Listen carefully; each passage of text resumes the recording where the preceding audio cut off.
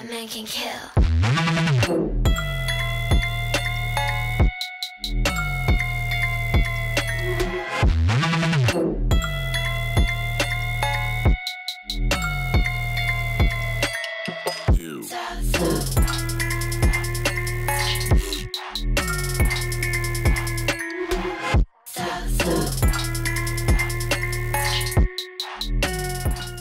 New Wes Audio Phoebe preamp.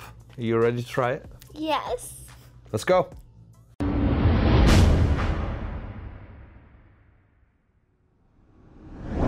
Hello everyone, welcome back to Mixbus TV from me and Bella, hello everybody. I hope you guys are having a great day. Before we start, please check the info box down below for more mixing courses on ProMix Academy, free plugin special discounts and offers, and of course, link to the new Wes Audio Phoebe preamp. And if you really want to learn how to mix and master professionally, click the join button down here, become a Mixbus TV member, access the already big and always growing library of full mixing courses, start to finish on so many different genres, mastering courses, and a lot more. And if the videos are helping you, please consider using the super thanks and support the channel. Of course, follow our superstar artist Bella Kelly. A new EP is coming out soon.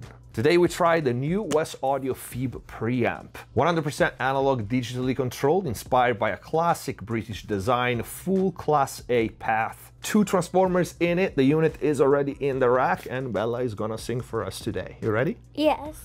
Let's go. The new Wes Audio Phoebe is a 500 series mic line instrument preamp. Inspired by a classic British design, its Class A signal path is 100% analog, digitally controlled, just like all the other Wes Audio products. It has not one, but two genuine Carnhill transformers. One for the input, one for the output. With touch-sensitive controller, what you move on the hardware, it mirrors on the plugin, and vice versa. And you can save and recall presets. We have 75 dB of gain available enough to fuel any microphone from an SM7 to the ribbon mics, for which we also have an impedance button. This will bring the impedance from 1200 to 300 to match, for example, passive ribbon microphones. We also have a phase button and the 48 volts phantom power. On the front panel, you have A and B, so you can store right here without even using the plugin, two different settings that you can recall from the front panel. At the bottom, we have the proprietary iron pad to trim the output level of the preamp if you want to drive it and get more color from the two Carnhill transformers. Yes, both, because the pad comes after the output transformer. We have a combo XLR quarter inch here in the front, and when you plug a quarter inch cable, it automatically recognizes that you're using the front connectors. Here on the plugin, we have the VU meter and the exact level of our preamp here on the display. And we have all the buttons mirrored here that we have on the actual unit. Without further ado, let's give this a try. All right, with this being a transformer-based preamp, I'm expecting that the more we're gonna drive the input, the more color we get. So with Bella behind the microphone, we're using an Austrian Audio OCA18. She's gonna sing the same part several times. Each time we're gonna increase the input and compensating with the pad and see what kind of color we get. After that, we're gonna quickly test the SM7, which is a microphone that historically requires a lot of gain and see how the Phoebe performs. You know what you're doing, you know how you're moving. Taste like lipstick on those cherry blossom lips. You know what you're doing, you know how you're moving. Now my shade of red, move on to the next. Now I'm gonna change settings. We are a 45 gain and zero pad. I'm just gonna try to boost it like, let's say about 10 dB and pad it. What you're doing, you know how you're moving. Taste like lipstick on those cherry blossom lips. You know what you're doing, you know how you're moving.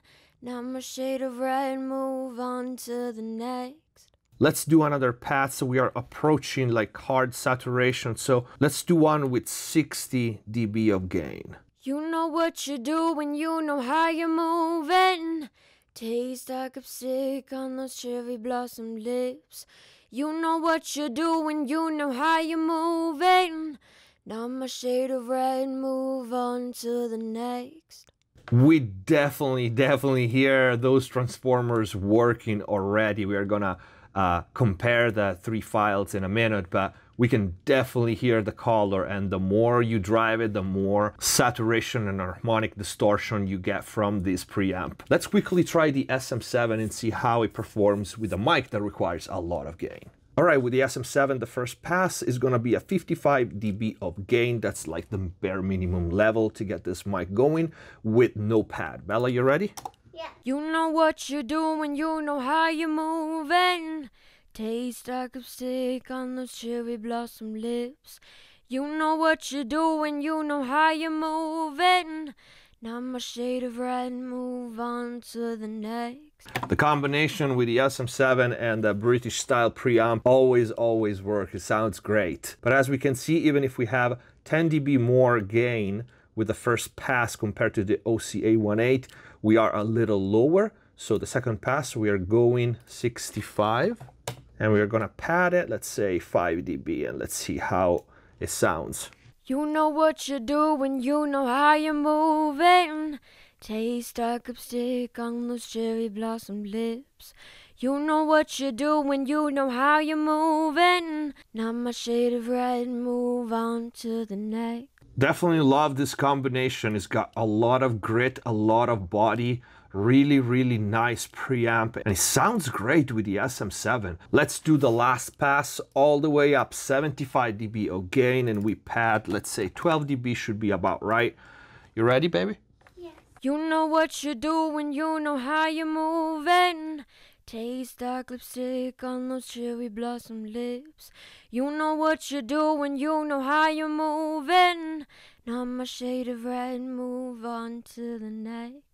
Right on the verge, this sounds really, really good. I love this preamp. You have a lot of range to fairly clean with low settings and the more you drive the input, the more color you get and what a color. Very surprised how it makes a simple SM7, although a great mic, sound absolutely great on this preamp. Packed with features, digitally controls. For example, for this one, I'm just gonna pad it like at 14 and I can save this preset, Bella SM7, and save it. And here we have our preset. Another great piece of gear from S Audio. The link, it's gonna be in the info box down below. Remember, this is also an instrument DI, so you use the transformers for any direct instruments that you wanna record, and also a line level preamp. So you can run tracks from your DAW into it and use, again, the Carnhill transformers for saturation. But I wanna hear what you guys think about this preamp. Let me know in the comments down below. The link to the Wes Audio Phoebe is gonna be in the info box. Thank you for watching. Subscribe if you haven't already. See you next time. Bella? Bye. Hands on my neck, hands grip my throat, throat. Lift me up,